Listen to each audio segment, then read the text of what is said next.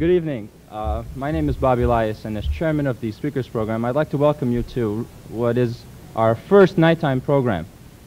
Uh, as you can see, we have uh, Peter Fonda as our guest tonight, uh, and we are going to do a question-answer period where you can ask about anything you want, I guess, and uh, we will probably be talking about Easy Rider, probably, and his new movie, uh, The Hired Hand, and uh, probably people that have made uh, Easy Rider. Uh, it's interesting, I, I think, to note that uh, Jack Nicholson is uh, doing. You know, you're like the Beatles. You made a good, mo- you had a good thing, and then you split up. You all now you're all doing other things. Uh, so Dennis Hopper's doing the last movie, which, if it's a big hit, uh, will be just the first movie for him. Uh, and uh, there's Nicholson and there's Terry Southern, who who knows what he does. Okay, so let's just uh, there's we have some roving mics that uh, we'll have. So just raise your hand if you have a question, and we'll get the mic to you. There's somebody with a raised hand. Scream the question. If anybody can't hear it, they'll tell me, and I'll tell them what the question was. You can't hear me either. hold, hold on a minute. We have we do have a mic. Let's just. Ah, there it is. Yeah, go ahead. Yeah, hold on, hold, no, hold on just a minute. Uh, there's the mic over there, and there's one over here. Uh, just, could you bring it to the people who, who have a raised hand? That's it. Can you hear me when I'm speaking without the microphone? No, no, this guy wants to ask me a question. I, Hey, hold on, just a minute. Uh, I really want to ask you to use the mic, because we're taping this, and we want to get it on, the questions on tape, okay? Yeah, we're a little slow with the mics. Uh, come on down to my office sometime.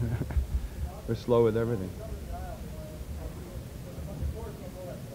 Oh, Uh, great. Is this on? Okay, here we go. Um, as everybody, uh, well, as a lot of people think, um, Spiro Agnew um, turns old people um, against young people, and uh, it's been my experience that um, your movie Easy Rider has made a lot of uh, young people, myself included, very, very suspicious of old people. I mean, uh, I was hitchhiking around the United States for a few months, and very often uh, I felt like I was going to get murdered. And I didn't really think there was a rational reason for it, um, except for sort of a mood that I really think was created by your movie.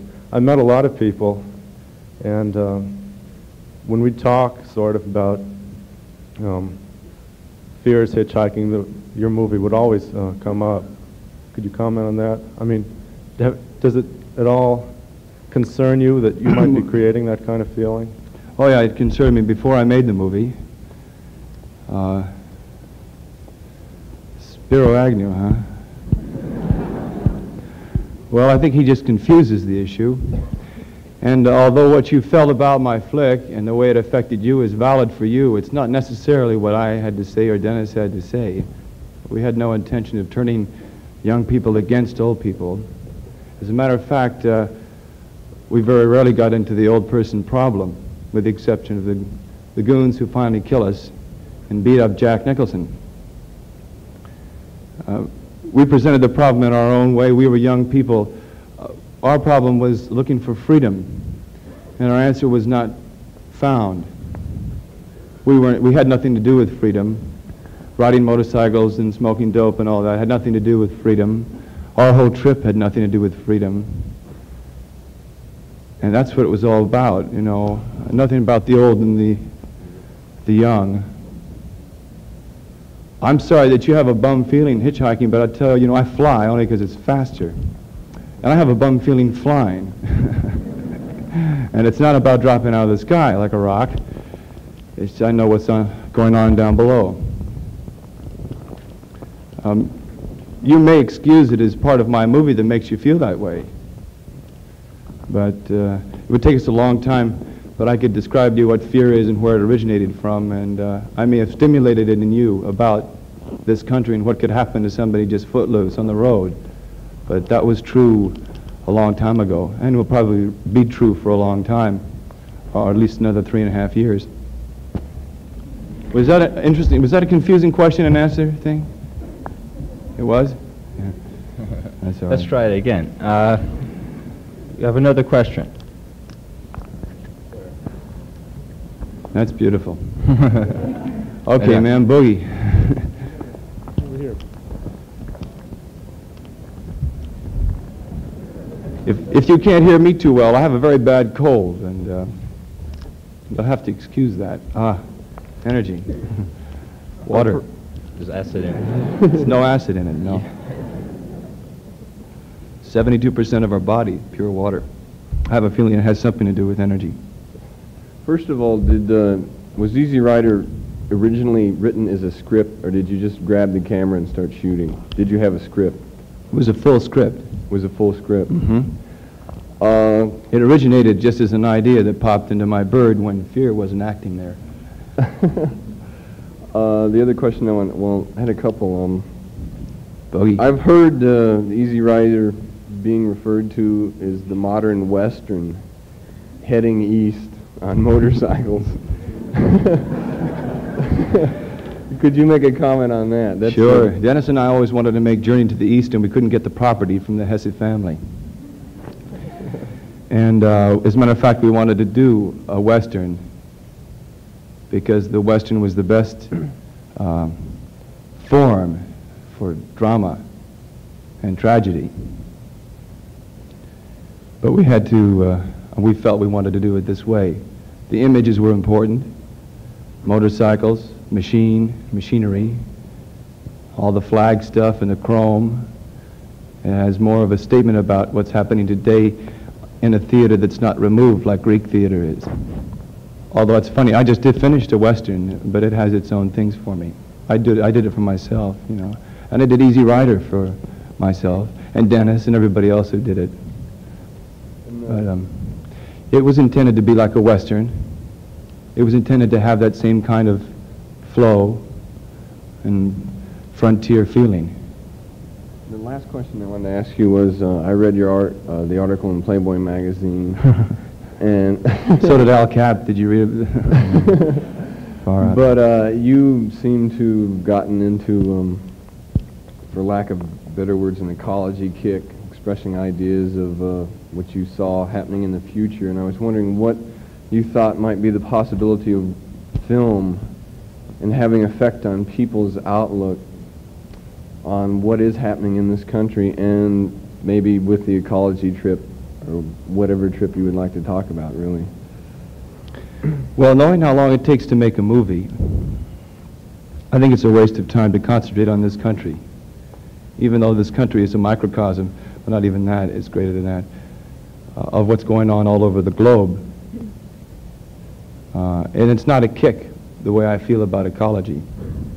I may have been glib or editly, uh, editly. I may have been edited to sound glib about my ecology stance. Uh, I'm quite militant about it. I have children. And there won't be any water for them to drink in a few years. No, that does not sound like, I mean, you know, I don't mean to sound joking or anything like that at all. I'm very serious about it. I want to boogie out of this place. I think you're all fools for wasting your energies this way. In a way, I don't mean to insult you, but there are teachers that give you classes that you should be asking questions to, and not people like me.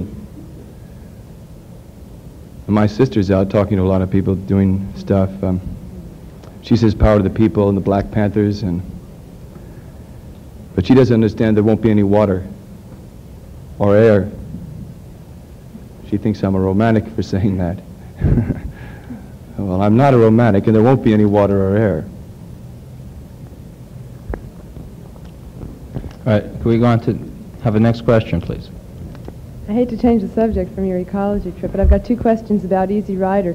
First of all, is it true that like a lot of the scenes turned out to be just ad lib things like um, like the scene in the restaurant with those chicks and everything? And like just, I heard that a lot of the scenes were really not meant to be filmed, but that they actually happened and they just turned out being in the picture. Well, in the scene in the restaurant, written in the script, says that we come in and um, there's some girls at a table drinking Dr. Peppers or whatever. And there's some other guys sitting at other booths and tables and they start making comments about us. and we wait to be served or have somebody ask us for something or to get something to drink and eat. If we don't get served and the hostilities grow, this is what's written in the paper. The people say things like, look at their hair. Boy, they smell. And the girls giggle and uh, ask us if they can go for a ride. That was the extent of scene number 56A or whatever the thing was in the script. When we walked into the restaurant, which Dennis had gone in before, and he liked it because of the mirrors. He could lay a dolly track and show two things happening at once. There was a bunch of guys sitting there. The girls had already been, you know, told to come. But there was a bunch of guys sitting there who didn't know about it. And we walked in, just like you saw us in that flick. And this guy said, hey, look at that guy there with that long hair. They're talking about Dennis because he was really the most outrageous of us all. I can smell him. Can you smell him? So in a way it was an ad-lib sequence, but in a way it was written. And it's been written before. My other question was, in the very first scene in the movie, when, you know, like in order to get the money to make this trip, you guys went on wherever you went to Mexico or whatever it was. Was there a purpose behind, like, you're selling dope to get the money? Was there, like, a little reason in there or something? Or was, you know, like, I was wondering why you incorporated this into your way to get money. Was there any sp- uh, specific reason for it? Um, it's considered an immoral act to traffic in narcotic drugs, although we never said what it was. It was supposed to be cocaine. That's Dennis and me because we find cocaine uh, a romantic drug, a narcotic. It breaks the blood vessels in your brain and Then, like, would, it's you also be a saying, poison. Would you be saying then that your whole, like, your whole ambition for the whole trip was an immoral thing? Because, like, you're saying like it was an immoral thing to start with. An exposure of the American dream is an immoral thing. Make a lot of money no matter who goes down and retire. Thank you. Yeah, go ahead. Yeah, uh, there's a story that goes around that when you decided to make Easy Rider. Well, I heard this from one of the uh, one of the chairman of the uh, film department here. He was saying that it happened at a meeting where Jack Valenti was talking to some of the filmmakers, and he said that uh, there were too many movies which had sex, violence, drugs, motorcycles, and what they needed was more movies such as Doctor Dolittle. That's, That's that's, true. As a matter of fact, I taped that whole thing. Oh, you did? Oh, yeah. That, that's true then. I had a big shotgun mic and a and I sat there pointing it right at him. And, uh, uh, well, I, I'd like you to comment a little bit on that. And secondly, uh, if, if that is true, I understand that you did make your film on a very low budget, and uh, this would tend to indicate a new trend for filmmaking. And I wonder if you'd also comment a little bit on uh, present trends in filmmaking, and, you know, where do we go from here, you know? I mean, you know, the, the old Hollywood-type movies with the big stars and stuff seem to be out the window. And uh, I just wonder if you can comment on that. Well, about Jack, I'm not sure your, your question about Jack Valenti, other than uh, my comment on Jack Valenti and what he had to say about the making of movies. It just occurred to me that uh, the movie he used for an example of the movie we should make was a total waste of money. At the moment he made his speech, he said it cost $27 million to make Dr. Dolittle. Later they revised it to $72 million. And they gave me a gold lighter for coming up there. And I said, uh, the only time 27 or 72 million should be mentioned is in the box office, not the budget. But I was talking to a bunch of theater owners, and they make their money from the box office, not the budget of the films. So I had like a thousand people on my side right away. And I said, said, seems to me that we should make a movie about motorcycles and drugs and sex and violence, because that would be reflecting what's happening. And our only uh, requirement would be to deal with it honestly as individuals, not as a mass. I was wondering, uh, when I, I saw the movie in a class, and uh, it seemed to be the professor uh, afterwards. We, we, had a discussion on the scene where you're sitting around the campfire, and uh, Dennis Hopper is ejaculating over how great it is, and then you say, "No, man, we blew it." Uh, one interpretation of that I heard was that it was the third or fourth uh, take, and you didn't get it right. And, No. and you said. That's beautiful. Uh, that's not it. Is no, no. Okay. It's much further out than that. Um, Dennis and I were sitting in a Cortez, you know, one of those little mobile homes. We had forgotten to shoot the scene. so we got it together with the crew and we went out with a few people to shoot this last scene. Dennis says, my God, what are we going to say? And I said, I don't know. He said, what do you want to say? And I said, I want to say we blew it. He said, well, you've, you've, got, you've got to say this thing about, like, we blew it because we did this, which is part of your question about my act, immoral act. I said, no, I don't want to talk about that. And he said, well, I want you to say we blew it, we blew our inheritance, our heritage, when we went for the easy money. So I did for the first take. And then he said, no, you're right. It explains it too much. He said, just say we blew it. So I said, we blew it for 14 takes. and he said, what? Every take. And I said, we blew it. Uh, my motivating, this is a secret. my motivating factor behind that whole thing was that I figured we had blown the movie. Uh, I didn't think it was going to end up the way I wanted it to. I meant by we blew it many things. I did not want to be specific. But we blew it because we won't have water in three and a half years. Or we blew it because we cannot uh, deal with the situations in the world the way rational people should. And we call ourselves rational people. Now, we is us, not them. All of us.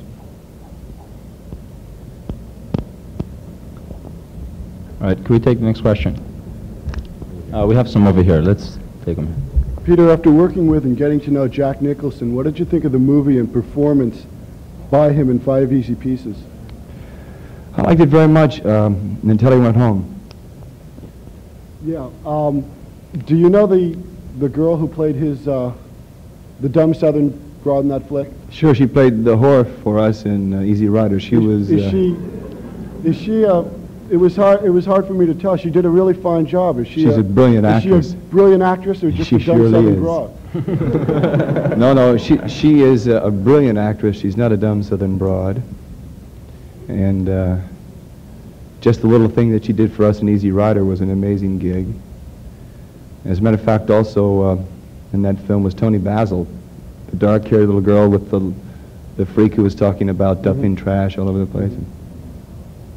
She played the other whore, and she's a fine dancer, a choreographer too.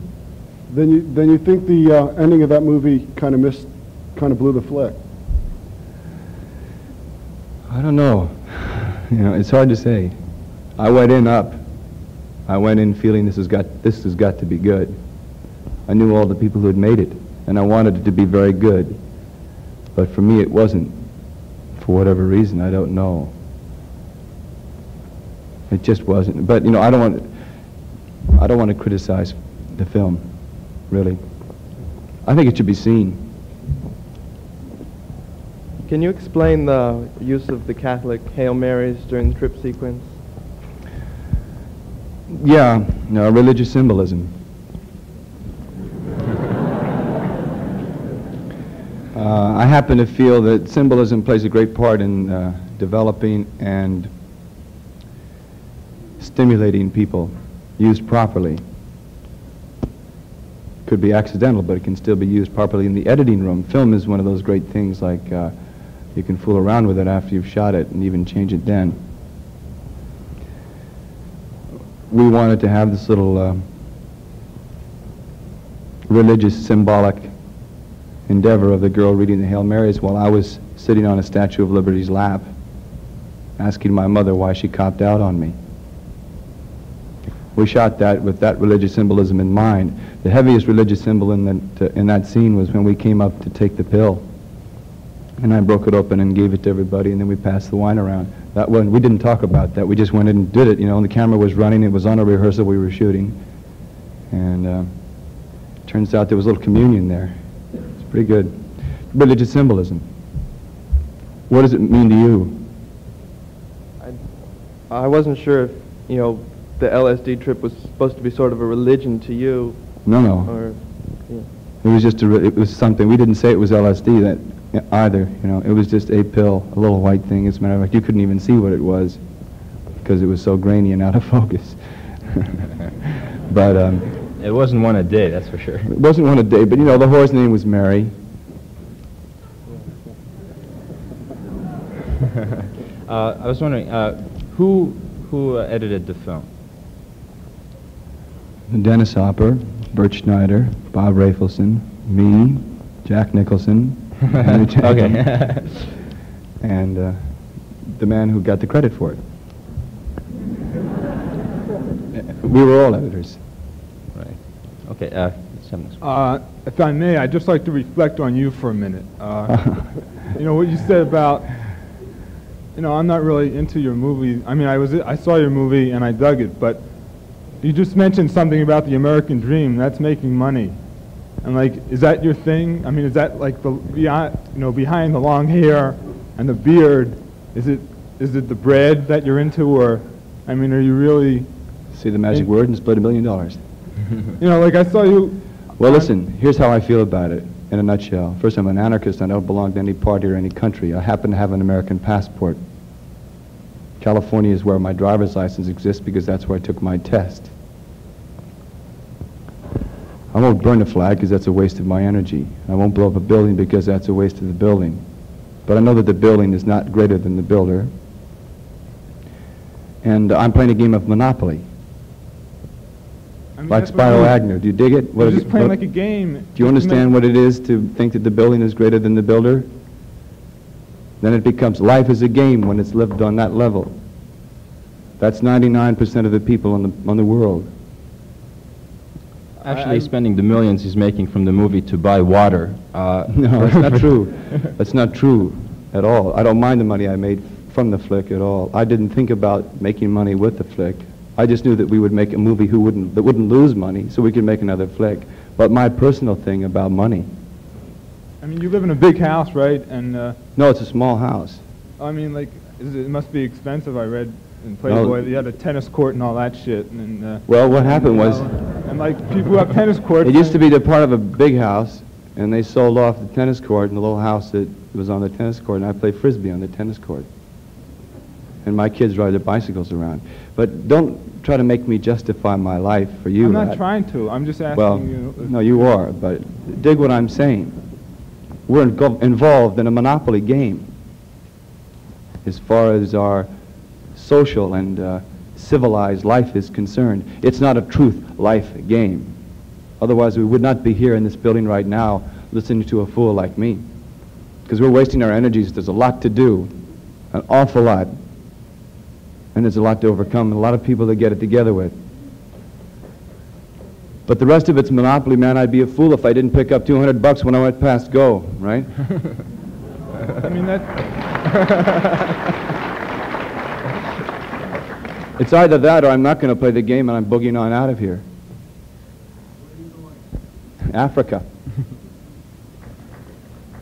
It's the only place I know in the hemispheres that will have clean enough atmosphere and water where there will be any sort of civilization, a chance to begin and find uh, freedom. I don't know if freedom can ever exist in man, but a chance. Africa, how about that? Yeah, all us white they whiteys oppress go all the Africa. black people, man, in Africa. Huh? That's the, that's the oppression place where they oppress all the black people that you're sort of putting down in, in your movie, weren't you? The oppression bit. Weren't That's the impression Down, of what? weren't you putting down oppression in your movie? Oh, yeah. And then that's Africa, though, isn't it? Sure. So like you're not going from. I mean, that's not the place to go, Africa, if you, if you don't dig America. You think there's any place in this world where there is an impression? Maybe in your own head, even. Do you think you're free from that in your head? No. But I don't think I can boogie on out to any place else that's, that's I'm only, I'm not boogieing there for freedom from oppression or anything else. And as a matter of fact, I don't think of freedom from anything as being freedom. I'm boogieing on over there to have something to eat and drink and something to breathe and a place for my children to uh, grow up because they won't do it here. Could we have the next question over there, please? Yeah, I have uh, two questions. I'll ask them one at a time. Could you speak Uh, up, please? Yeah, I have two questions. Um, I saw you on one of those talk shows, and I believe you said you were arrested for quoting part of the Declaration of Independence. That's not true. No, I, I quoted part of the Declaration of Independence, and they took it out of the show. But I was never arrested. I see. As a matter of fact, I went through a whole trial and never, never got arrested. Why did they take it out of the show then? Well, actually, it, as a matter of fact, it wasn't even the preamble. It was uh, Lincoln's second inaugural address, in which he says, if you're not satisfied with the government, it's your constitutional right to change Congress, or your um, revolutionary right to dismember and overthrow it. That was one of the presidents of the U.S. and his second inaugural address. But if you Ah. guys haven't learned that and heard that yet, you all must be sitting like this. Does, do you talk to your teachers in your classrooms? Why don't you start talking to them, ask them if they've read the book? They're not interesting? I don't believe that. Uh, I don't know if you've ever been uh, through the South before Easy Rider, but uh, what impression did the South give you? There were bullet holes in every car that I saw. um, the cops seemed to have it better together than anybody else, which surprised me. And people are people. Uh, the only reason we went through the South on Easy Rider is because we wanted to go to Florida as part of the American dream. We could have gone any place else in this country or any place in the world, for that matter. Uh, my impression, my impression of the South. Uh, well, you see, Texas. Uh, we didn't even shoot in Texas. We just boogered on through. Right? Went right into Louisiana because we were afraid to shoot in Texas. Bobby Kennedy just got shot when we were in Texas, in Wichita Falls, with a big sign that says, Welcome, John Wayne, wherever you are. Texas to me is H.L. Hunt. H.L. Hunt to me is uh, the thing that oppresses. We have next question? In um, Playboy magazine, it said that you don't, um, uh, you don't have many interviews. You don't come to the public too much. I was wondering why you came here tonight, and saying that, you know, you thought it was kind of a waste of us to be here. Why would you come anyway? Well, I couldn't really hear all you said except, why did I come here tonight? And that's what I was going to ask all of you. Mm. I And uh. I was trying to find a way to say it so it wouldn't seem glib or funny, where you would understand I really want to know. I You all asked think you know me, you see, and I know I don't know you. I'm in an advantage position in one sense. I'm at a disadvantage because of this thing here and uh, all this stuff between us. But you have an idea of me already. So I came here to learn something else about me and about you because it's all us.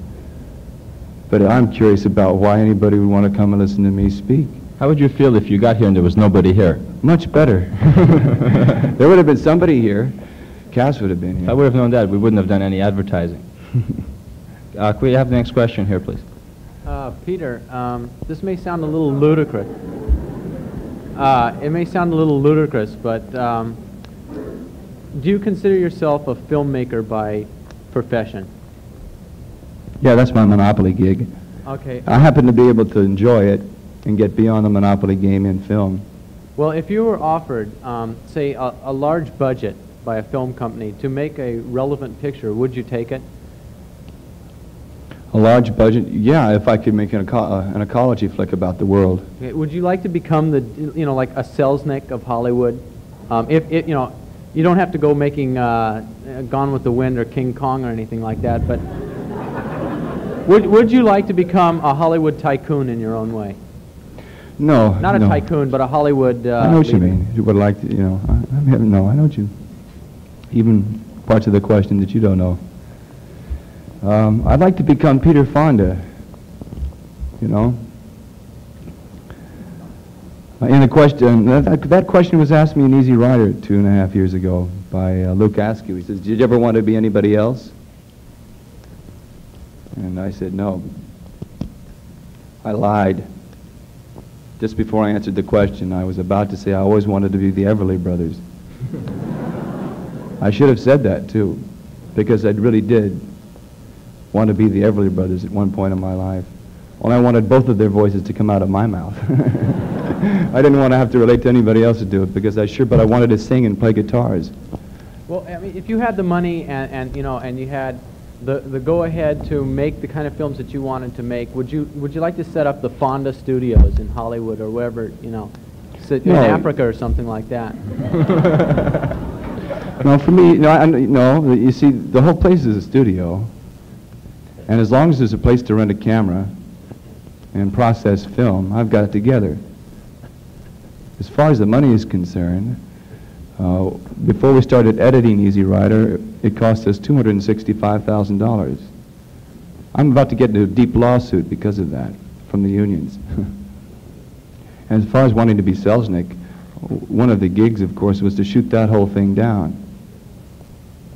And the last last part is, uh, I heard rumors that Dennis Hopper is suing you for uh, certain uh, money problems that went along with Easy Rider. Is that true? And what? He was suing me, yeah. Did you guys? uh, I read up? about it in the papers one morning just before I went to work, and uh, and I called him on the phone, and I wanted to see if he was going to say anything about it because I know the only way it gets into the papers is if you have somebody announce it, you know. UPI, so it was an announcement from his people. For a long time, I was very curious why Dennis was suing me. He said I have three and a half points more than he does. Well, that's retained by my company.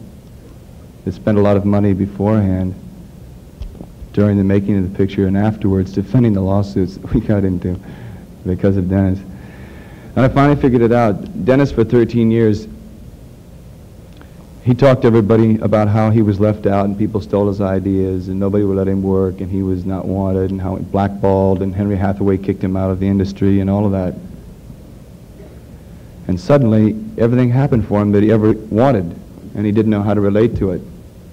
So it was much easier for him to come back and say, you see, I'm still the oppressed, misunderstood. Everybody hates Dennis Hopper. You guys still friends? Sure. Okay. I just think he's crazy. And, but you see, the whole idea is there's a lot of crazies. How to use the crazy is the best. That's the question. All right, could we go for a question there, please? Okay, you talked about escaping and getting out of America, let's say, and going to Africa or something. Could you could could you extend it and say, like, how you're going to get it there in Africa and how you're going to go about it? I'm going to sail. You're going to what? Sail. In a boat. No, no, no. Sail. I mean, could you tell us something more than like getting fresh water and fresh air? I mean, there's philosophies that underlie. Well, I think there's philosophies that underlie, like what's going on in America and stuff. And could you could you um, say what how you'd like to change it in Africa for you? Change it in Africa? Oh, brother. Oh, I don't know. How how I may never make it to Africa. How is it going to be doing? I may never get out of this house, of this hall. Um, are you asking me why I don't stick it around here and try to get it together here? That's part of it.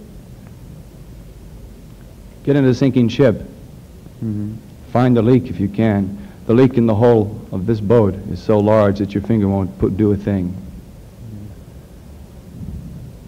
Could you be more What you- exact? I mean, Okay, this, I mean, the, the place is blown.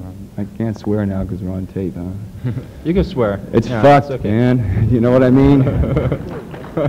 we blew it. That's serious. It's not funny. It's not to be taken lightly. And we're misusing our energies this very moment. All of us here in this room and all of us in this country and all of, this, all of us on this planet. Why doesn't it stop?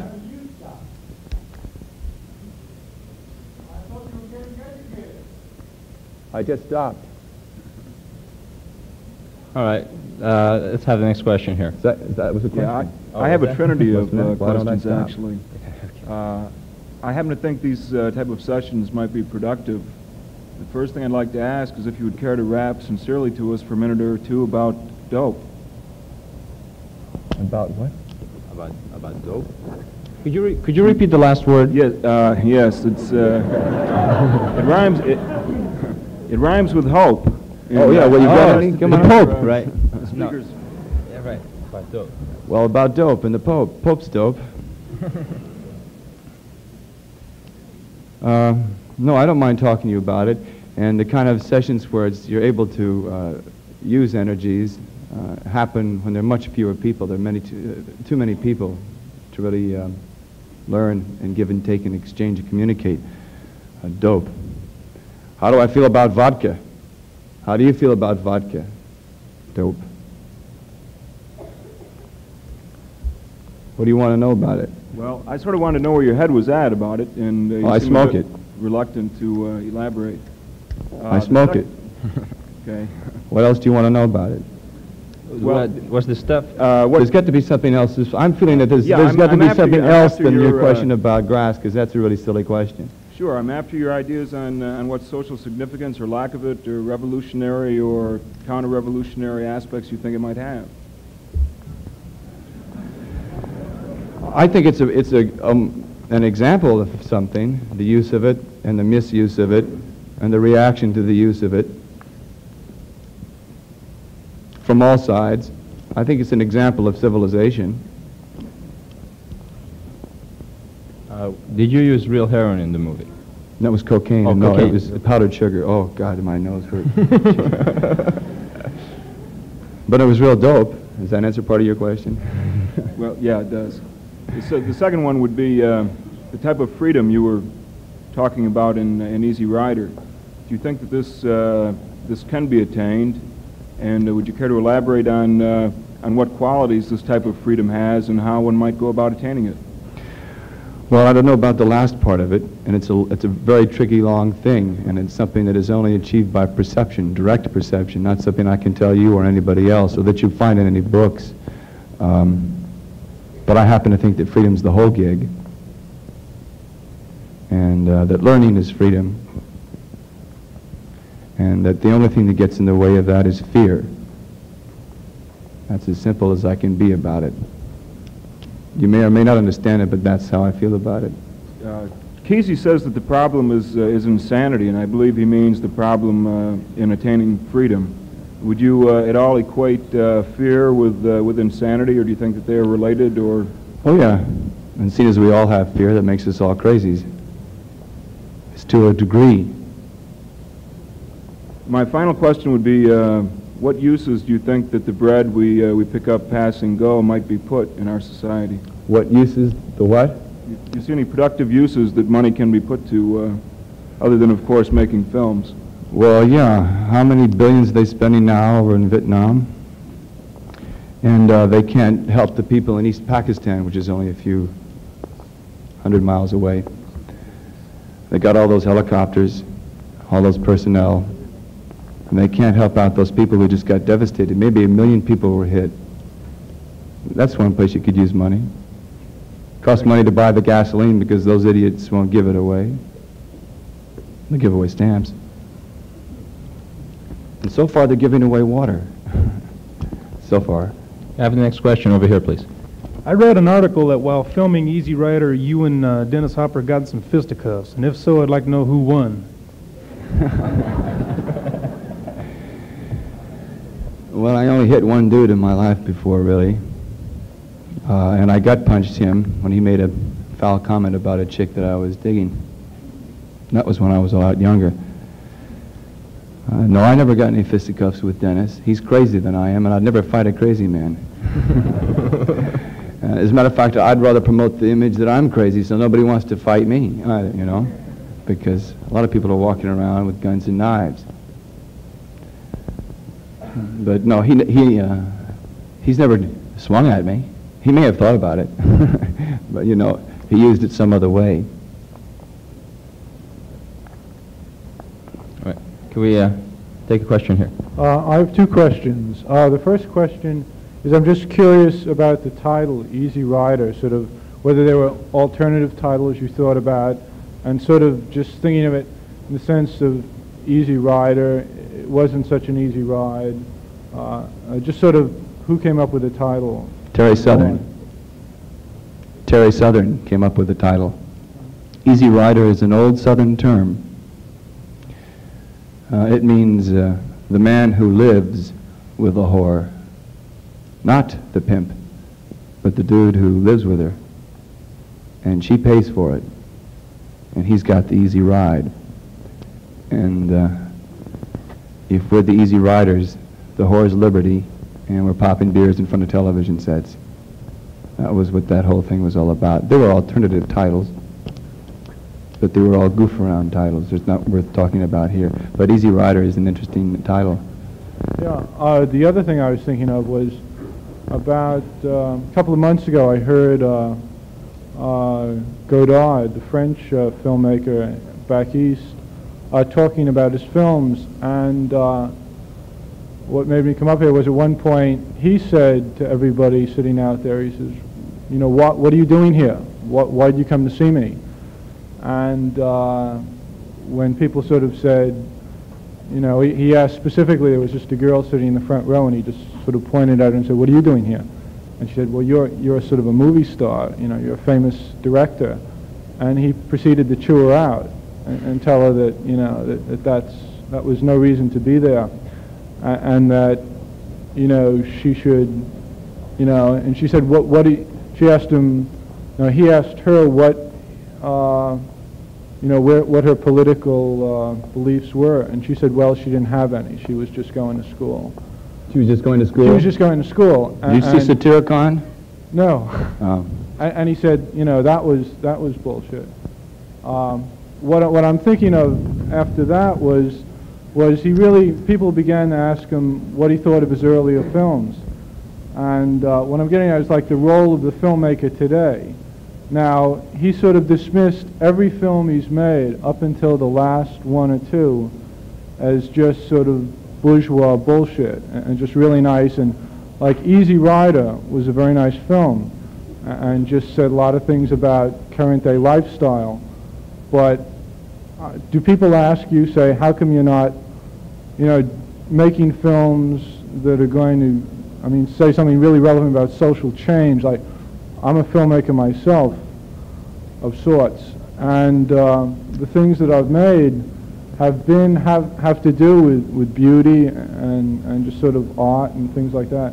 And whenever I show them to my friends in New Haven, Connecticut, where I live, where the Bobby Seale trial is going on, I sort of say, you know, ask them to look at the film sort of apologetically, sort of like, you know, like I realize, you know, this is just bullshit to you, but, and all my friends that are making films back east, they're sort of all, you know, all doing radical political things, all doing things about ecology. Uh, it's a really long question. Well, no, You know, but, no, perhaps but- you have to be stimulated to find the question. What do you really want to know? Because it, I wa- I wanna I'm not know- Godard, I and Easy know- Rider was made two and a half years ago, and uh, I said everything about it that I have to say, and I'm just repeating myself over and over I want again. to I want to know, are you going to make any films that take a political stance where people are really maybe going to come down hard on you for saying some things? Well, I did, and I'll continue. And political stance can be interpreted. And I just made a Western, which I feel deals with uh, part of the problems of civilization and society, which is the, bi- the basis for political action.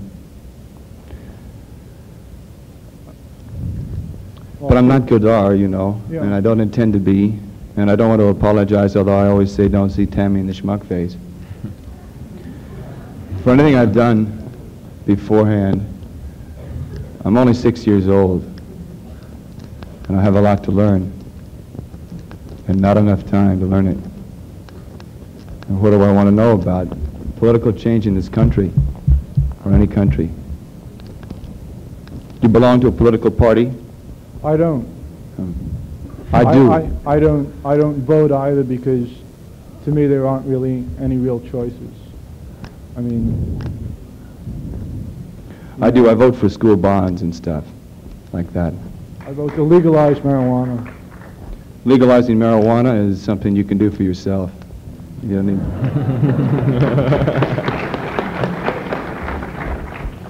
I was wondering, uh, would you would you like to talk a little bit about your new movie, The Hired Hand? Uh, just tell us a little bit what it's about, what to expect. Is that a toughie? Well, I'm in the midst of editing, and it's frustrating enough for me because uh, I'm not behind the editor's back every day. I work in my own way, and I'd be a fool not to let the editor really use all of his talents. When it comes to fine cutting, I'll be right there and say, no, no, no, eight frames of that. And we may or may not argue about it. So it's like um, delivering the child that all these people who were part of the company that made Easy Rider, I mean, um, Hired Hand, and to talk about it now It's, it's rather difficult. Only generally is it possible, I suppose. And I don't know if that's interesting or not, or even stimulating. And I think there's some people who have some questions that probably will transcend what hired hand is all about in, All right. in its present stage. okay, let's see. Uh, let's have a question there. Uh, both you and your sister have been socially aware, it seems like, uh, most of your life, or at least a lot longer than before the masses were.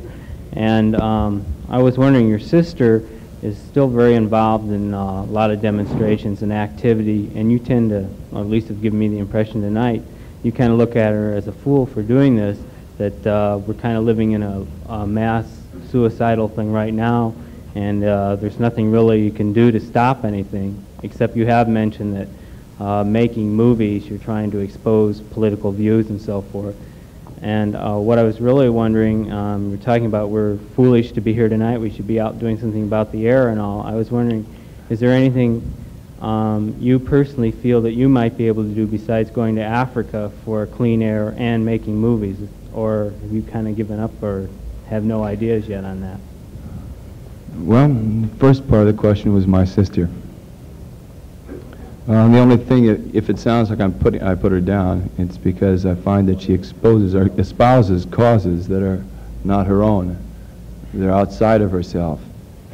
And the only way that what you say will have weight and stimulate and make people act instead of react is if the cause is within you. Now, about what I'm up to, well, after I've died, pass a judgment on it.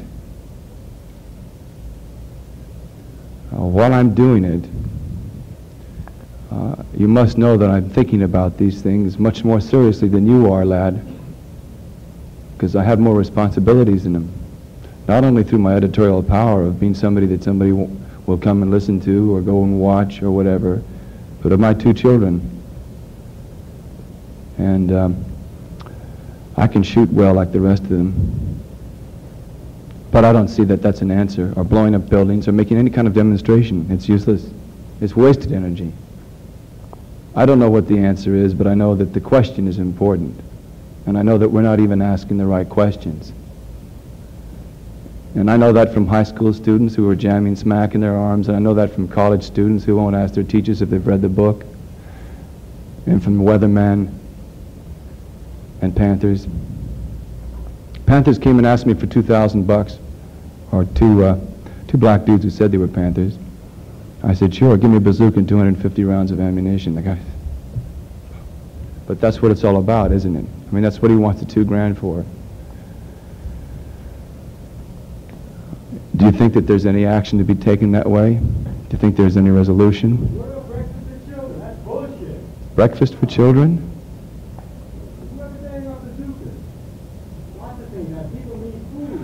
Well, I gave my money to Luke McKissack instead, who was defending them in court for free.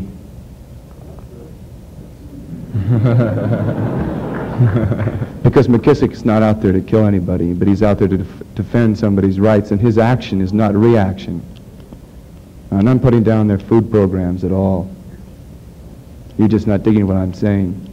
Or maybe you have something to say and you'd rather come up here and share this mic and say it. Or maybe you want me to say it. I don't know. Uh, at the risk of, uh, of doing something like the Emperor's New Clothes, you know, like where there is. Uh, what's Is there the any more book? water?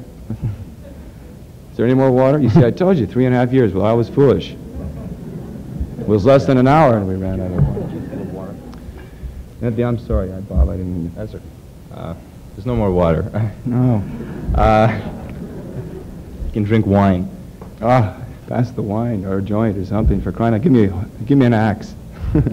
Oh, what I wanted to know was what got a cigarette? you mentioned. You mentioned the book. I was wondering what what is the book? What what book? Which book? Uh, When did I, in what context did I mention it, in other words? have you asked your professors if they've read the book? And I, I Whatever I book heard it you is. say it last time, and I didn't want to ask you because I thought I should know. but uh, I don't know. What's the Thank you, book? man, you understand it. Uh, well, let's say now. Hmm. Here's a good one. Hmm. Hit. the University of California Press, uh, which, by the way, is owned by the Regents of the University of California. Bung, which is one of our governors, put out a book called uh, Don Juan, A Yaqui Way of Knowledge. That's a pretty good book. Now, I meant by um, the book anything, uh, whatever you have to prepare class for. Uh, class is supposedly the formation of a, a, group of people in which a learning process will take place. By this time, we'll all, we're all supposed to have learned the tools of learning, reading, writing, and the basic tools of perception of words and ideas and creative thought. But I find more and more it's just like uh, answer, reading the book to prove that you understood the book and answering the question to prove that you understood the question. But there's more to be done than that. And uh, all the energy I can see lies with the young people. And if they're wasting it answering stupid questions that have already been answered because they're in the back of the book, yeah. or didn't you notice? Yeah, well, it's basically you read the book and then for, the test comes and you barf. And uh, that's the answers. I don't know. You see, there's, you just have to promote a question. You have to find the right question. It's a slow process at first. And there have to be fewer than uh, 300 people in a class to get it together. Um, Learning is freedom, and learning is what you're all supposed to be doing. And you're not going to get there by books, but you get there by asking questions. Here's a question, uh, right here. Can you stand up?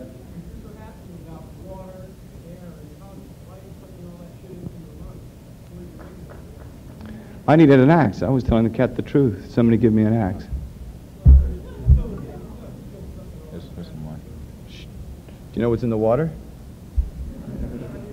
I mean, really. Do you know what's in this water?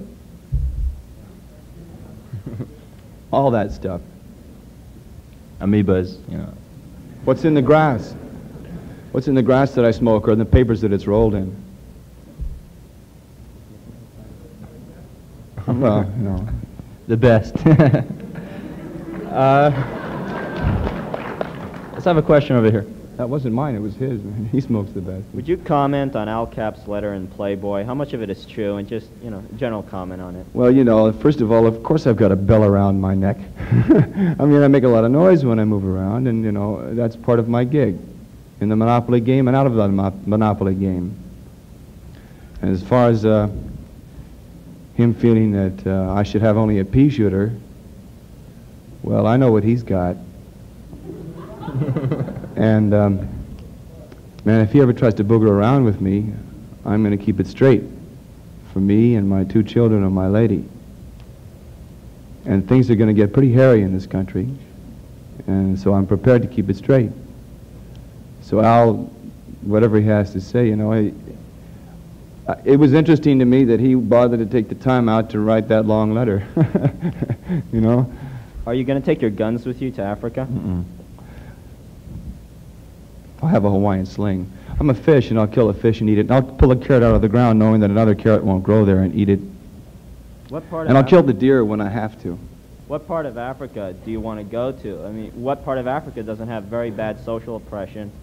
Madagascar's poverty? pretty good, I'm told. Well, whenever the vanilla crop fails, they're in a lot of trouble. It depends. Uh, some dude came along, um, along up to my boat the other day and looked at it, and he says, far out, man, what a big materialistic trip this is. You sure you know what you're up to, man? And I said, well, uh, I had a choice. I could have a farm.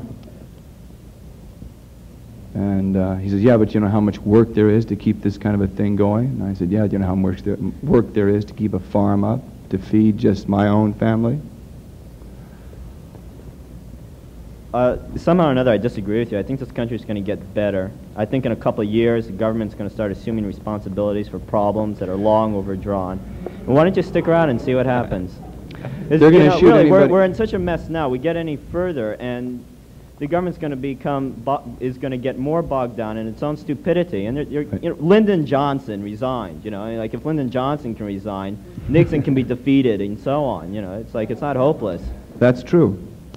But are you going to stop driving a car or whatever? You know? I don't drive a car. Oh, flush it, John. Hmm? Well, that's. I, I don't know how to lay it out to you straight enough for you to understand. Plant. It's got nothing nothing. to do with America, lad. We could be sitting in England. I'll still say the same thing, or France or Germany. As long as there are Englands and France and Germanys and Americas and Russias and Chinas and all that, we're all fucked. And we've blown it because we don't know that we're just people. We're waiting for Nixons or me or some other dummy to come along and tell everybody what to do. We've got to do it ourselves. Listen, if you get out there and do it yourself, you can look right to your left or right and you'll see somebody else out there with you doing it themselves. Well, that, that seems to be my point. Rather than leaving, why not stay and help to get it done? Here I am.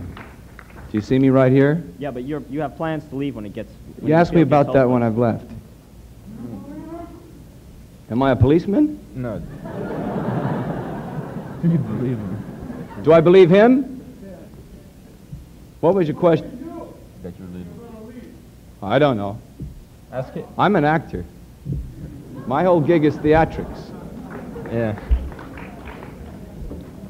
I have my way of saying what I have to say. You can criticize it any way you want to, but I'm still going to do it the way I do it. And I'm not going to ask you how to do it for me. All right. Can we have the next question, please? Uh, yes, uh, I was going to ask you a question about Easy Rider. It seemed to me that there is a lot of external. Could you speak up? Um, there's a lot of uh, very heavy usage of like the word man quite a bit, and I was just wondering if you were just trying to make a comment on our social mores and the way we kind of every conversation is spread out with about a hundred ride-ons or far outs or whatever. I mean, uh, it just seemed that like it, you were trying to make a point about it. Like it, uh, there's one scene where uh, you just say "Good night, man," and you know, "Good morning, man," and you know.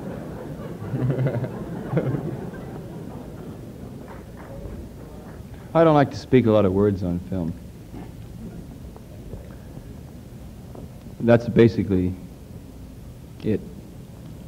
And uh, I was just wondering, could you say what your part was in the uh, last movie? Yeah, I played an actor making a movie for two weeks in Peru. That was far that the farthest thing out. I, you're right. What am I doing with this thing anyway? right here. I don't want to get in a big thing about your justifying your life or anything, but this, this relates back to the, your last answer about not getting people like Nixon and you to solve our problems. Uh, I also don't care if you make a lot of money uh, making films that you think are important. However, there's something I'm curious about. It seems like one of, one of the problems of our society is that, it's such a person that personality cults are so important that people think in terms of God figures and heroes and astronauts and things like this. Uh, like I said, I don't care about making money for movies. However, uh, I want to know how you feel about posters and things like this. You- Uh, there are about 10 different posters of you out. Uh, It embarrasses me. that, well, have you anything to do with it, or, or can you stop them or anything? Because it seems Yeah, like this we try to stop it.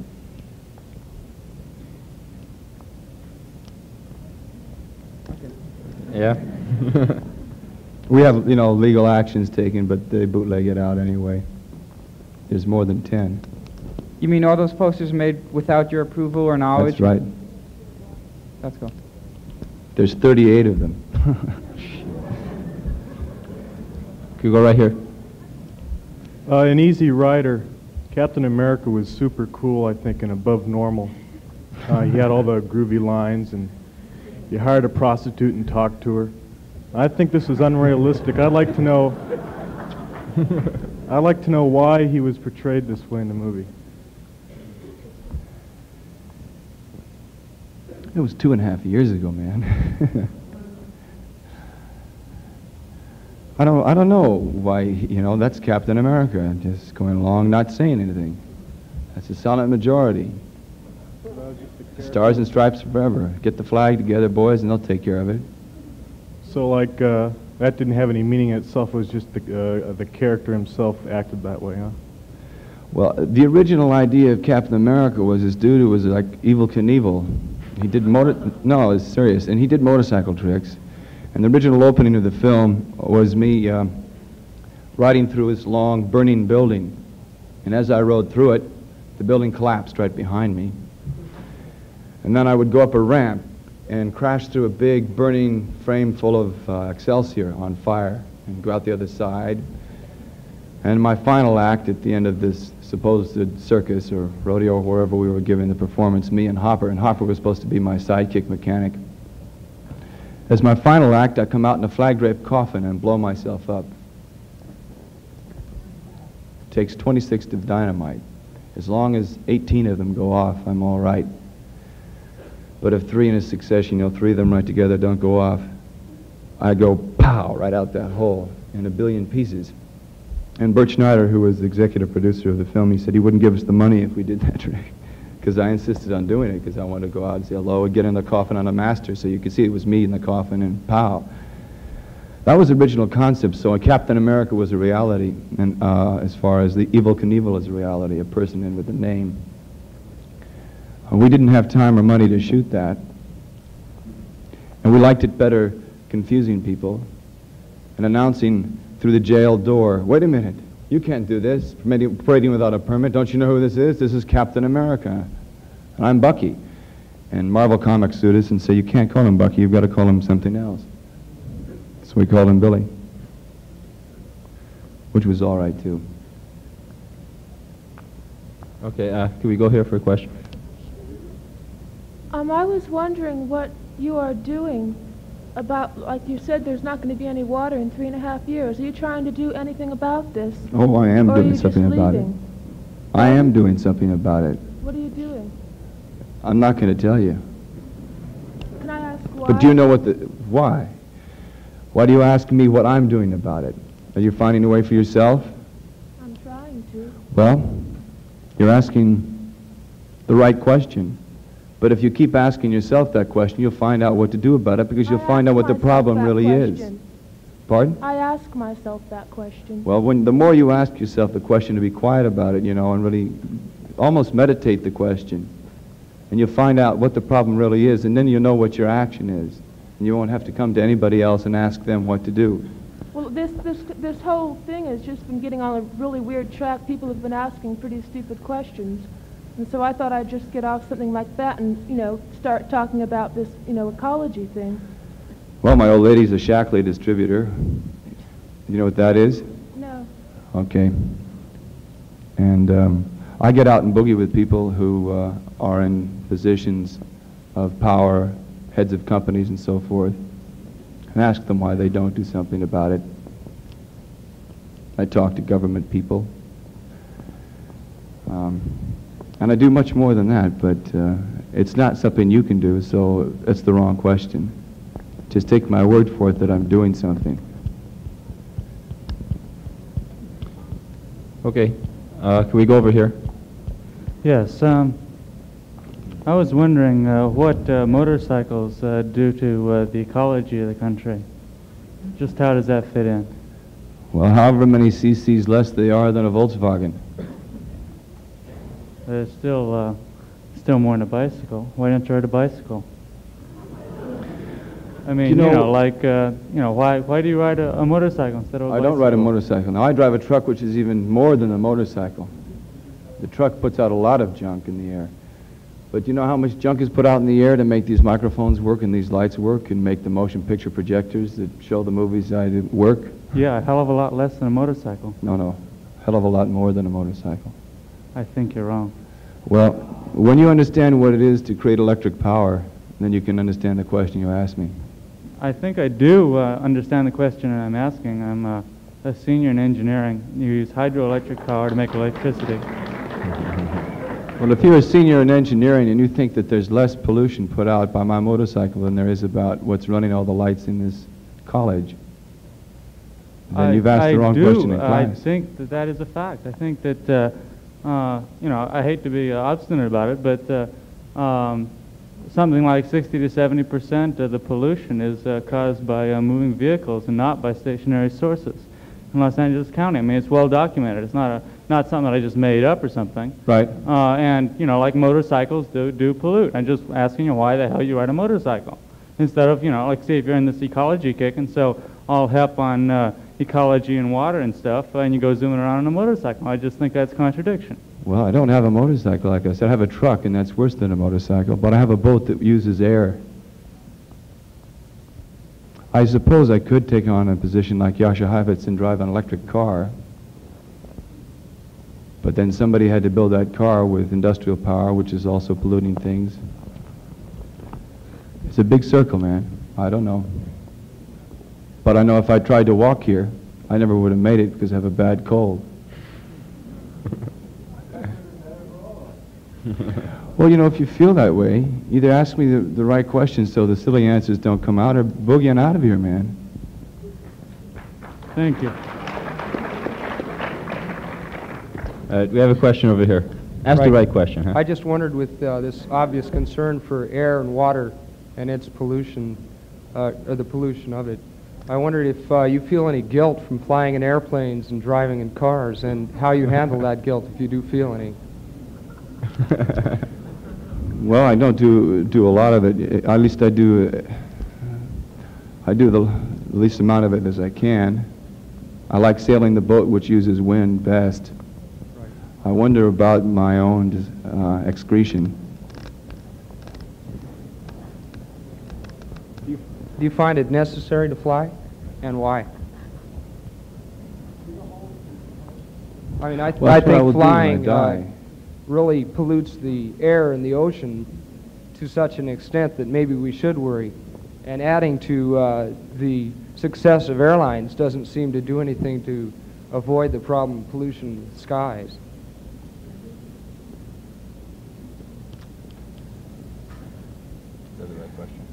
No, but the you know, airlines are not going to fail unless you stop buying tickets, right? There'll all be, always be airlines when you're buying tickets. Well, uh, you should see the amount of people that are flying on the, some of the flights and know that they're also flying mail, packages, and other, all sorts, uh, sorts of other things beneath us. Uh, they make much more money in freight than they do in passenger service. I, I don't know if that's an answer or not, but Well, I don't know, you know, what else to say to you about it. Well, I, I just wondered if you felt any guilt in how you handle it. That was really the question. I think about it. Okay, thanks. No, no, I, I think about it, man, like, um, I haven't thought yet about, I'm guilty about the fact that I'm flying the plane and I know how much pollution it puts out. I'm thinking about the people who think they're flying first class and the people who f- think they're flying coach and economy. As long as there's somebody who wants to ask a question, it's All right. cool. Uh, we have a question over here. What's the best movie you ever saw besides your own? Well, I don't know if that even ranks among the best movies I ever saw. There's so many different movies, it's hard to say. You know, I, four come right off the top. Potemkin, Grapes of Wrath. Um, all different kinds of films. F- films that you probably never have seen. Animal Crackers was good. Uh, I can't tell you. What's the best one you've seen in the past six months? The best film I've seen in the past. Which one would you recommend? What would I recommend? Well, I really haven't seen any films in the last six months, other than Nicholson's film, Five Easy Pieces, because I've been working very hard on my own flick, too, and doing other things. Thank you. Yeah, let's go over here. Yeah, uh, well, irregardless of your political and ecological beliefs or anything, I think you're a, I think you're a good movie maker and everything. But I was wondering if I might ask you a specific question about Easy Rider, and that was the character that you played, Captain America. It seemed that he, uh, throughout the picture, had uh, a disinterest in the opposite sex, and I'm referring to the scene at the commune where, like, Dennis Hopper was going around trying to make it with all the girls, and you were just sitting by, and then at the uh, with the prostitute, and I was wondering if this was some kind of a symbolism or just a gimmick or what. No, no, Dennis Hopper tries to go around and make it with every chick he sees, and I sit around and it all happens the way it should. and if it doesn't, I'm not worried about it. Okay, can we have a question here?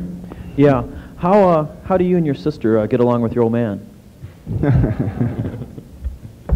How does anybody get along with their old man? Sometimes fine, sometimes not so fine. Well, I mean, does he feel at ease when he goes to see his grandchildren and, and you know, stuff like that? Well, he very rarely comes over to see his grandchildren. Isn't that a drag? No, not for me. Uh, he feels ill at ease coming to see me. I'm his child. Um, he felt ill at ease seeing me from the time I was born, I think. But that's not a, that's a fault that we all have. He didn't know how to relate to himself. How could he possibly relate to me? What, what did he think of Easy Rider? He liked Easy Rider. Oh, really? Yeah. Because I heard him say he liked it, but I was, I was asking you whether he really liked it. Yeah, the first time he saw like four hours of it or something like incredible. The first cut was an immense, an immense flick. He said he wished he knew where we were going. I said, what do you mean? He said, well, I mean, why don't you have a scene in there where you say, well, we're going to go here and do that? And I said, well, why don't you watch the film and you'll see where we go and you'll see what we do. And that's the last question he asked me about it.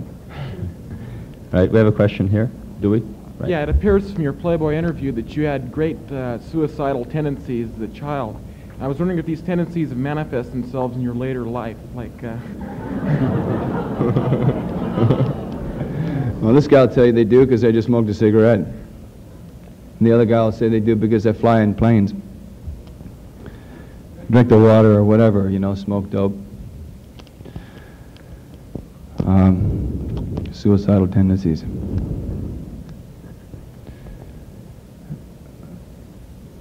Do you really want me to answer that question? Was your childhood really, was it pretty bad? I mean, it just. Uh... Oh, listen, you got to go see some people who have bad childhoods. I had a pretty interesting one. It had its problems, and it forced me into some problems, and uh, I had to eat some of my own stuff. But um, no, there are people who have had some bad childhoods. Okay. Uh, right over here, please. I'd like you to rap with us about bikes and where your head's at, not on a pollution thing. But Could just, you speak know, up, please? Did you say bikes, man? Yeah, right. Yeah. Like what you really feel about them now, because Easy Rider was kind of, I felt like a different idea than the way you really feel about them. Well, although I don't ride one now, I should like bikes. Pardon? I like bikes. Right. I like bike riding. I especially like to ride out in the country. Like it's a good way to get out. I got real high riding motorcycles, but I Uh, don't ride anymore. Not from an ecology standpoint, just pure survival. Could you recommend the film Joan Baez's uh, Carry It On then? Haven't seen it, you know, Yeah. but I can recommend Joan Baez and her old man a lot. Great. Now there's somebody to, to listen to, David Harris. Uh, we have a question over here. Uh, I'd like to know how I can split to South Africa too without having to involve myself in all the bullshit of having to make all the money because I don't have it. Well, if you learn how to navigate well, maybe you'll get a ride on my boat. If I learn how to. um, I don't know. There's a way. Well, I've been looking for a long time, but I haven't found a very good answer yet. How old are you? 24. Oh.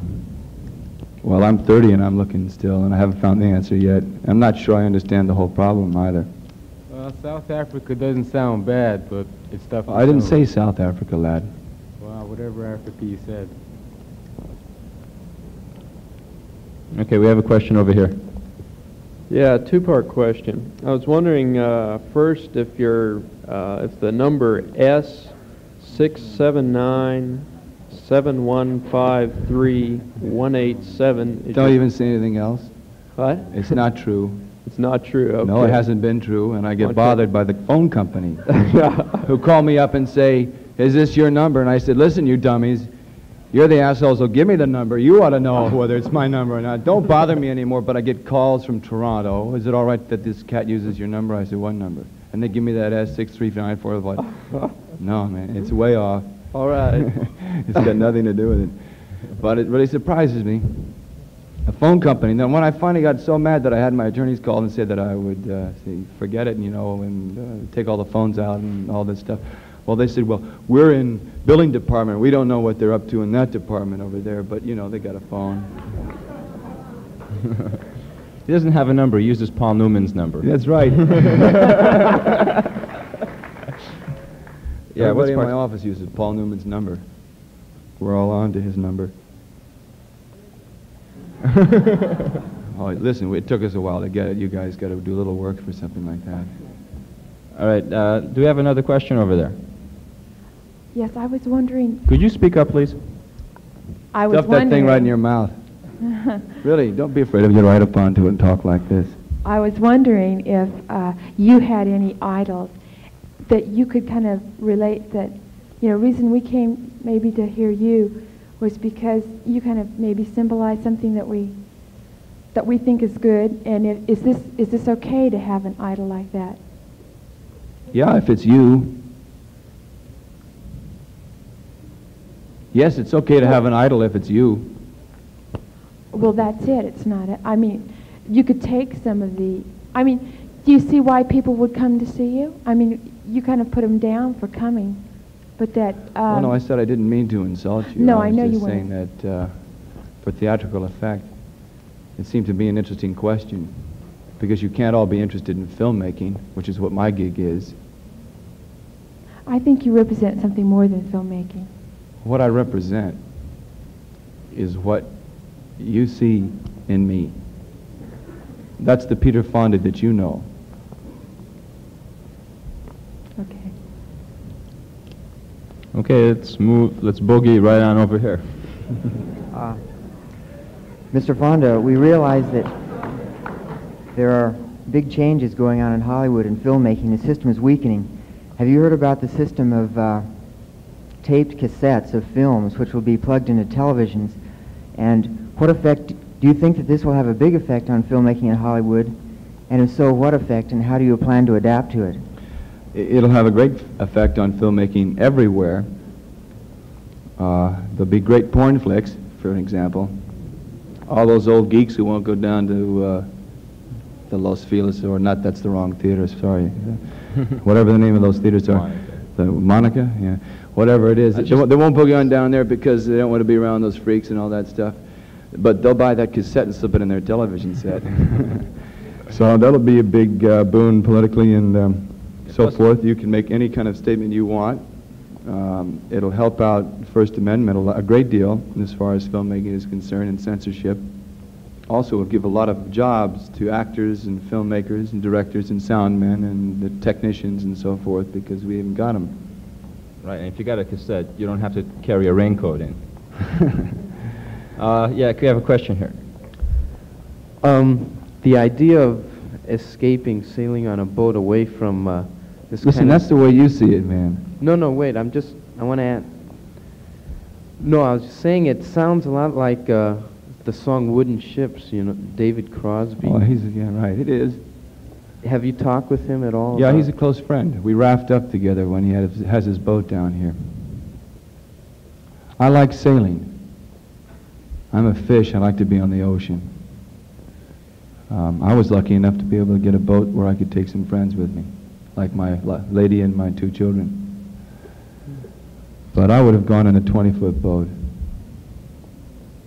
And it's not escaping because uh, it's the round thing that we live on. There's no way I can escape it. Do we have any more questions? Yeah, one here. What prevents you from shooting a great ecology movie, a great ecology film? Why don't you do it?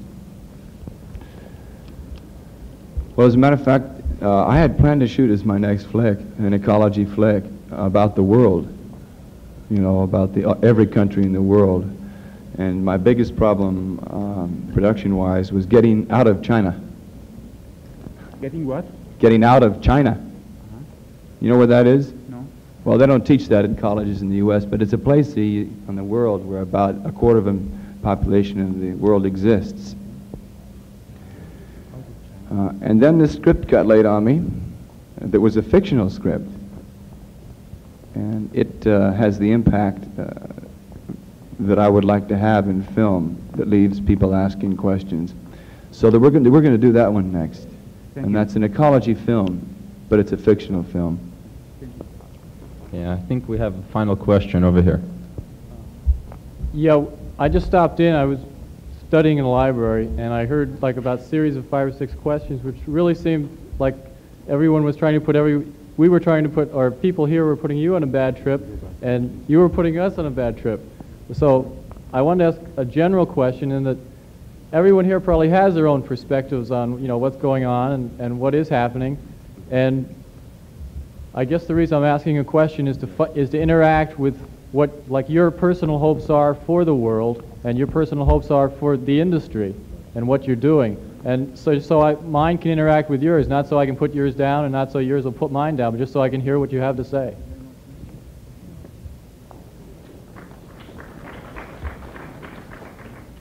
when I go out to make a movie, I'm interacting with a lot of people.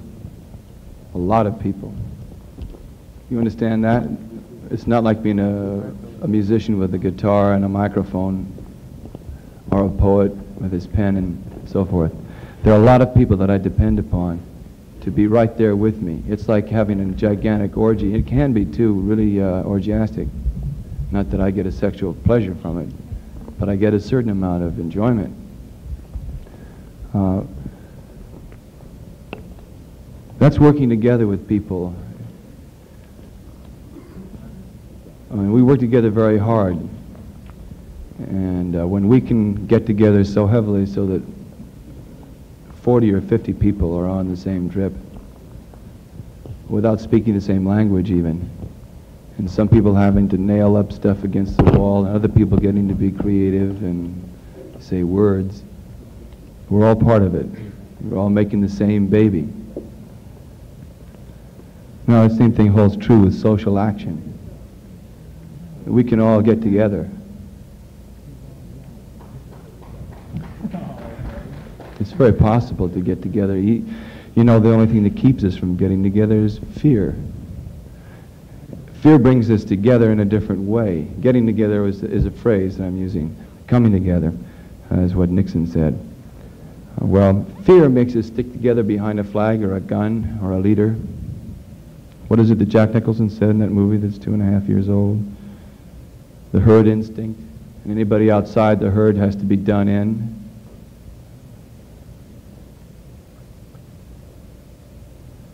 Uh, it's very difficult to get together with as many people as was in this room when we started.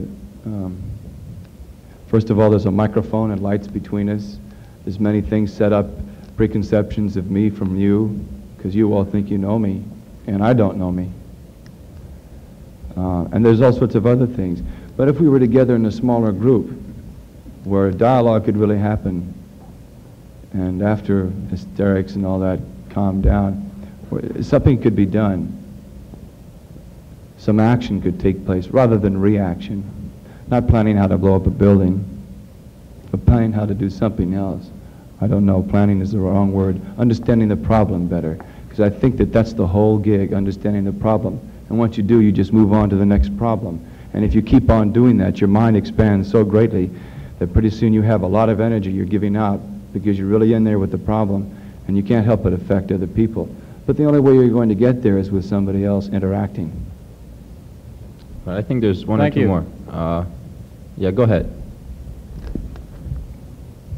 Um, Peter, I was wondering, you said before that you would have to be a fool to pass go without collecting the $200.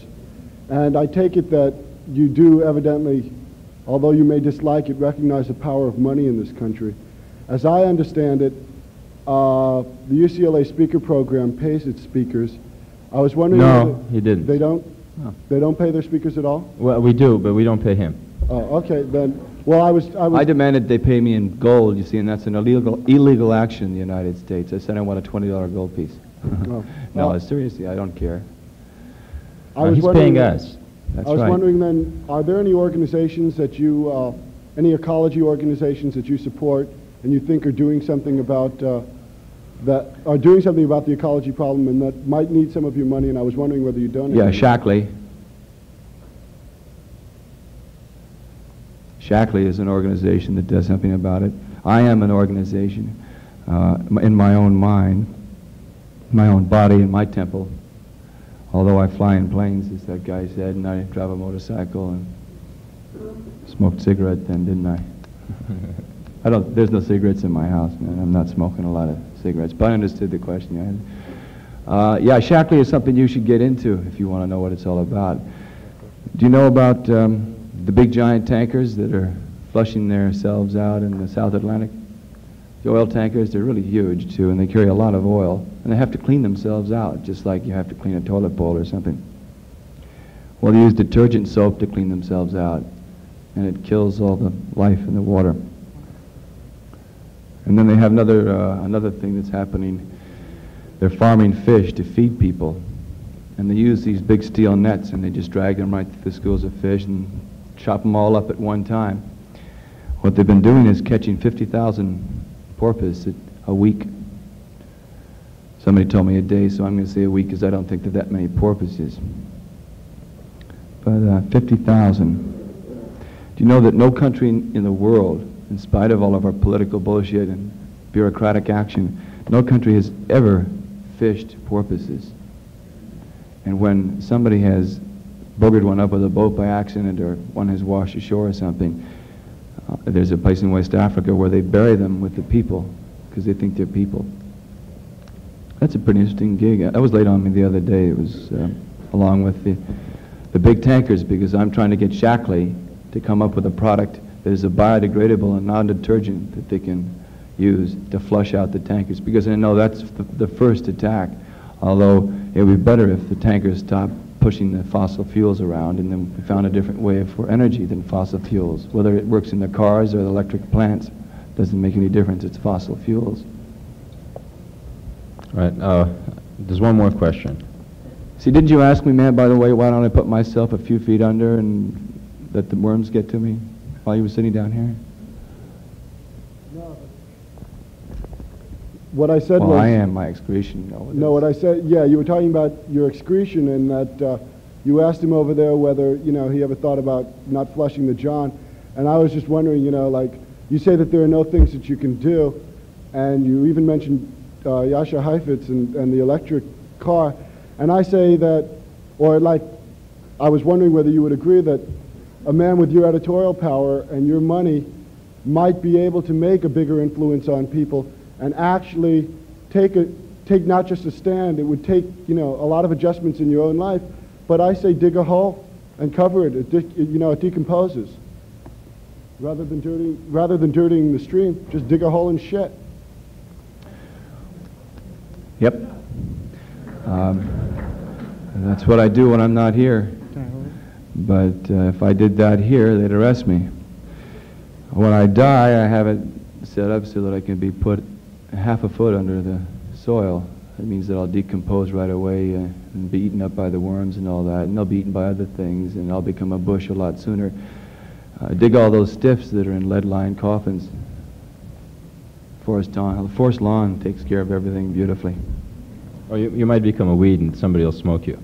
That's beautiful, man. Can you imagine that? I could really dig that, man. Nice big buds, you know. All right. Do we have a, another question? Yeah, Peter, uh, the day of the Woody Guthrie Memorial, I talked to you during the rehearsal that afternoon, and uh, you said that you felt that the two guys in Easy Rider committed suicide. Would you explain that again? Well, it's symbolically, if I'm Captain America, I represent all of America. Silent majority, as I said, and so forth, and the dope smokers, and the long hairs, and the short hairs, and the machine freaks, and the everything else. And um, if you notice, after the fellow pulls the trigger at me, and uh, the bike blows up, and there's a long pull away with a helicopter shot. The truck's gone too. Everything's gone except for the machine just burning there. And we committed suicide uh, by thinking that getting a lot of money together and getting someplace else, whether it was Florida or Africa, and that being freedom. I was wondering. That was a wrong premise, but that's the premise that our country is based on. I was wondering if you noticed uh, in Easy Rider, there was a scene where you were in that little commune there, and you were running through the rocks, uh, and there was, there was the reflector was following you. You know, it was like that was Dennis. Oh, that was oh, when he was walking yeah, past and the people. a little yeah, you could see a reflector mark on the teeth. Yeah. Well, we can't always be perfect. Cameraman's the only one who kicks himself for that. I don't mind. It. I love it. I say, look at that mistake. Yeah. Go ahead. Yeah, you've been putting down politics a lot and saying it's a load of shit and everything. Yeah. Uh, I personally have a lot of respect for your sister. This is my question. You, you've also been talking about uh, self-liberation and getting yourself and your wife and your kids to Africa and, and su- supporting yourselves and everything. The problem is, uh, like that guy asked a while ago, there's millions of people who can't go to Africa, who can't pass go and collect $200, who are being oppressed by the system. Uh, all over the In fact, you, whether you talk about ecology, whether you talk about oppression, whether you talk about wars that are stupid, this all comes under the same system. Now, You're a part of that system, lad. Right, okay, cool. Everybody is. The thing is, uh, it seems to me that to the extent that you believe in just getting yourself together and your wife and your kids and everything and going off to Africa and putting down people who are trying to change the system, you're condemning the people who can change the system, who are suffering under it economically, maybe not, you know, psychologically, of course, as well, but, but people are starving. Uh, what, what is your solution for, for how these people get themselves together? Because you can't get yourself right together while you're starving or while you're being killed by cops or killed by soldiers or anything. What's your answer to these people? What's my answer for those people? Well, you know, if I can feed them, I feed them. Far as being boogered by the cops, well, they've hit me on the head too, lad, and thrown me in chains in jail.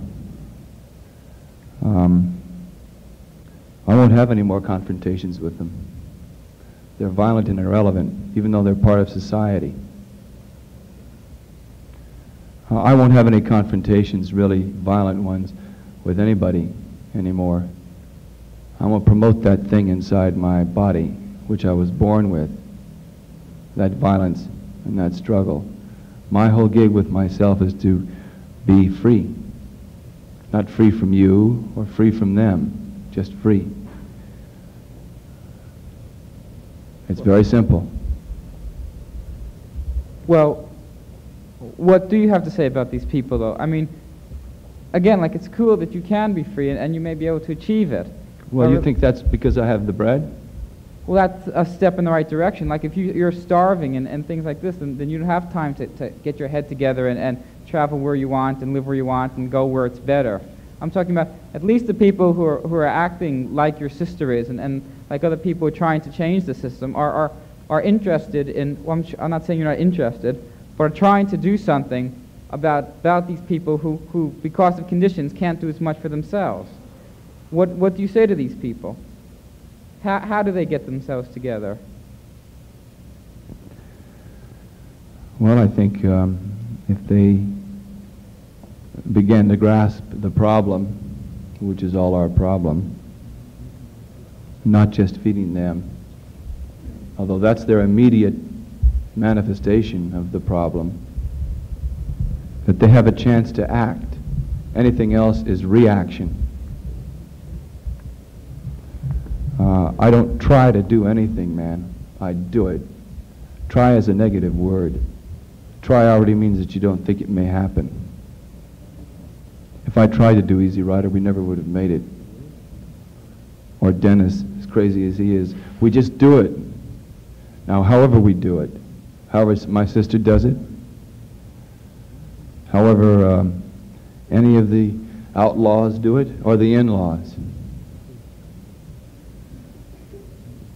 But if you've seen them in action, and you've been real close with them, close enough where they want you in there or out there or something, you'll know that they're all doing the same thing, no matter whether their hair is long, they've got beards, or whether they're Spiro Agnew or Dennis Hopper. They're all on the same trip. They don't recognize it, but they are. So they have to change. We have to change. All of us have to change, and it has to be something immediate because it needs all of our attention. It's not simply feeding people who are starving.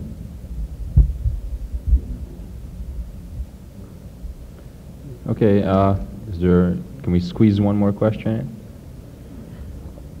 I've been disappointed by a lot of movies I've seen recently, and I know a lot of my friends and probably a lot of the younger people that go to movies load up before they go in just to enjoy the movie, catch it on the sight or sound or something like this.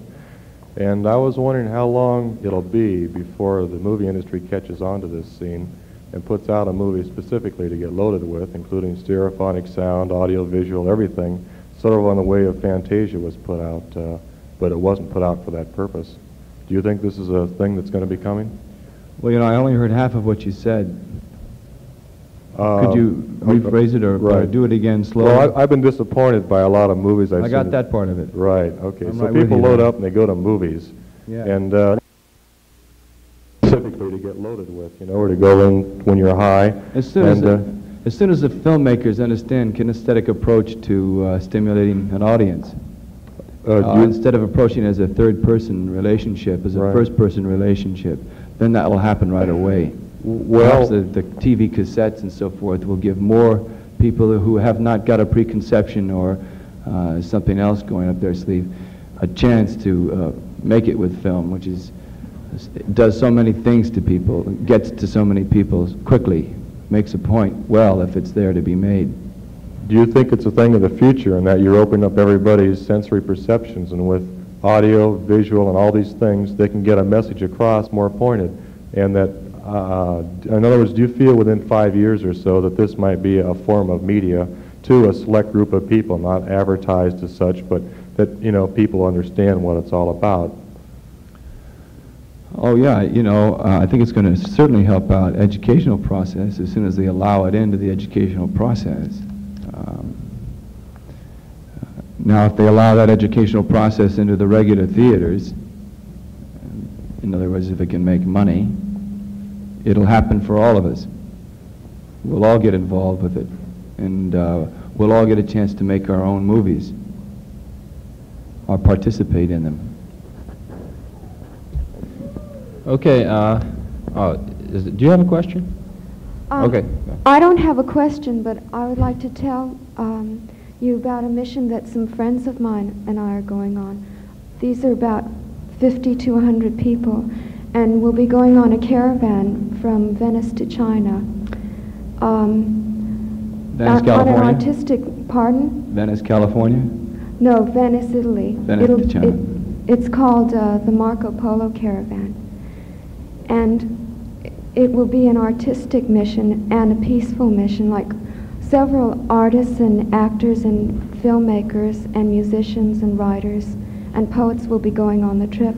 And we'll all be producing our own work and working together as well as on an individual basis. and Speak closer to the microphone. Stick it right up in your mouth. Okay, and we'll be doing um, our own films as well as working together and doing, um, well, films on our projects and spiritual films as well. And this should, we should start going on our mission in June. And I just wanted to let you know that there are people that are planning to do something and not just trying Well, I- to do I- something. I know that. Don't don't take what I, don't take me as a pessimist all the way. As a matter of fact, you must know that I am approached by everybody who has something to do. Yeah. Uh, not just for bread, but for participation in physical, my own self, and two hands and all that. Um, and there's some pretty heavy things, and there's some heavy people that are in there doing it too and asking the questions. Uh, go right ahead, man. I, if I could be there, that would be vintage. I'd go with you. That would be great. I want to get to China. My grandfather walked from the sea to the wall and back to the sea, and they won't let me in. Well, I, I know someone that you could talk to if you're really interested. Oh, I do too.